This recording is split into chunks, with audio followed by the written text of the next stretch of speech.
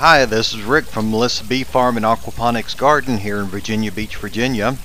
Uh, today, as the title said, we're going to be talking about filling a swimming pool, specifically my swimming pool. Uh, there are a lot of reasons that uh, we didn't need it anymore, and we'll go into those as we go forward, but uh, the biggest one was cost and lack of utility.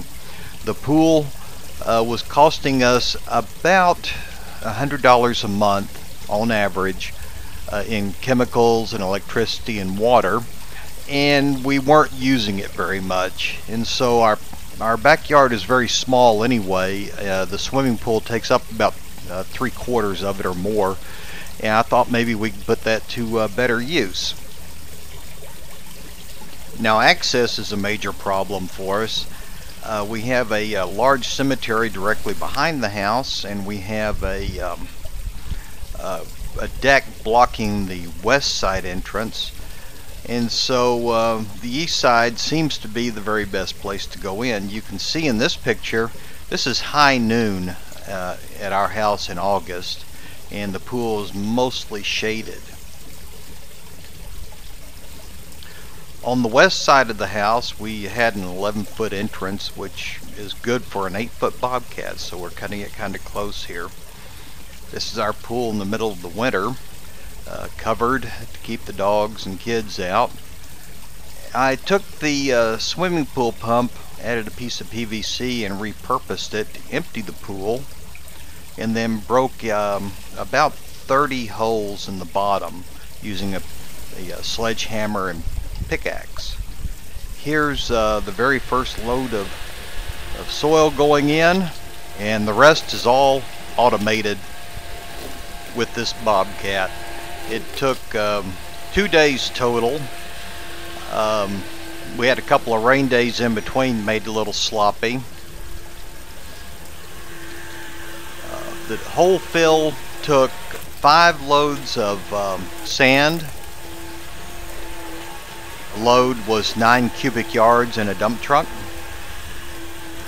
And then another three loads of sandy loam.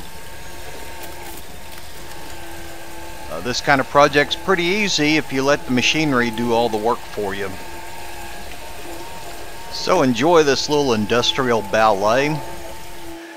And uh, we'll finish up in just a second. I speeded this up so it won't take too long at all. It's important to, uh, if you're pulling the apron in, to make sure that it, uh, it lays flat and doesn't leave any pockets to be filled.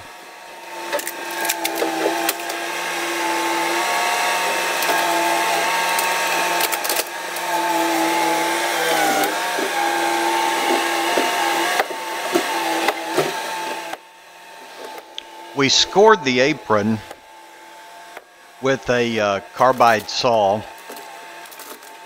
Uh, it was places we wanted to keep as footing for the uh, decks and stairs. And then we, of course, dumped all the apron into the bottom of the pool as well. Uh, this worker is using a sledgehammer to break loose the last little part where we scored across it.